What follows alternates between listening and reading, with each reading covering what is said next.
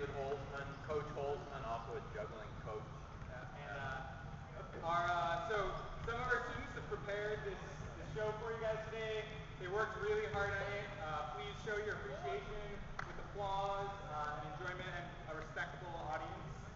And I just wanted to say that all the jugglers, jugglers you'll see today at the beginning of the trimester could not juggle at all. So now you're going to see this amazing transformation. And the point is, sign up for juggling next year.